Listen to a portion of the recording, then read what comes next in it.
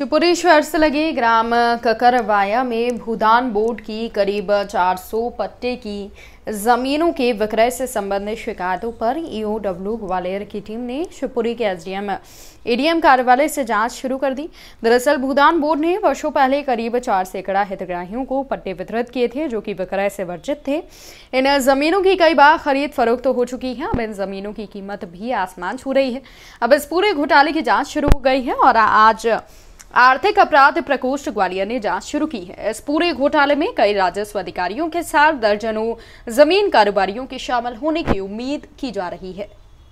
EOW की team आज यहाँ आई है किस सिलसिले ईओडब्ल्यू ग्वालियर में भूदान यज्ञ बोर्ड के संबंध में जो पट्टी की भूमि जो दी गई थी उसके विक्रय के संबंध में शिकायत हमारे पास दर्ज की गई है ईओडब्ल्यू ग्वालियर में।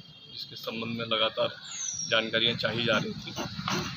चूँकि वो भूमि विक्रय से वर्जित थी उसके उसको विक्रय कर दिया गया है ऐसी जानकारी प्राप्त हुई। उस संबंध में जानकारी प्राप्त करने के लिए कार्यालय से हम लोग इसमें सर कितने लोगों के नाम ऐसे हैं?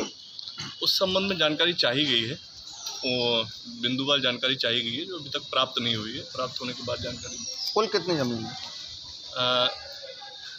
ज़मीन के संबंध में भी पत्राचार किया गया है। कितनी ज़मीन है? तो चार सौ पट्टे हाँ, पट्टे। जो पट्टे हैं उसका आकलन करके पता किया जाए कितनी ज़मीन और कितने करोड़ का घोटाला कितने लोग इसमें शामिल हो सकते हैं? जाँच के बाद ही पता चलेगा।